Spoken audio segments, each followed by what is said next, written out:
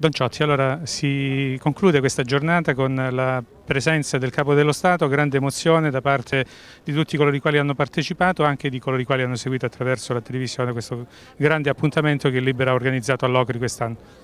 Lo dobbiamo alle persone assassinate, al dolore, alle fatiche di, dei familiari, lo dobbiamo a tutti questi cittadini che hanno bisogno non tanto di parole ma anche di fatti e il miglior modo di fare memoria è veramente quello di impegnarci di più tutti. Il Presidente della Repubblica ha detto delle parole chiare, categoriche, ferme, di incoraggiamento da una parte ma anche di denuncia dall'altra.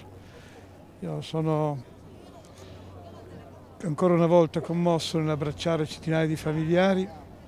Il 21 cammineremo per le vie della Locride, prima per illuminare la bellezza di questa terra, le cose positive che si fanno, secondo per non dimenticarci che il cambiamento ha bisogno di ciascuno di noi, non di cittadini intermittenza ma di cittadini responsabili. Allora vogliamo rivolgerci alle telecamere, martedì è prevista questa marcia martedì qui? sarà un altro braccio e avverrà in contemporanea in 4.000 luoghi d'Italia e questo mi sembra molto importante, ancora una volta sulla piazza in diretta televisiva, lette queste letture di nomi che devono entrare un po' di più nelle nostre coscienze chiediamo a ognuno di fare la propria parte, lo chiediamo alla magistratura, alle forze di polizia che fanno, fanno molto, ma dobbiamo chiederlo alle altre istituzioni, dobbiamo chiederlo anche alle nostre coscienze.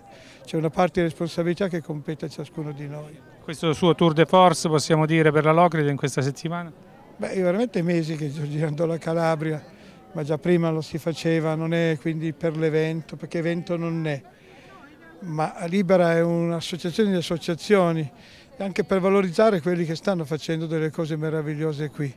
Perché qui c'è della gente generosa, impegnata e coraggiosa, che non vorrei che ci dimenticassimo mai di loro.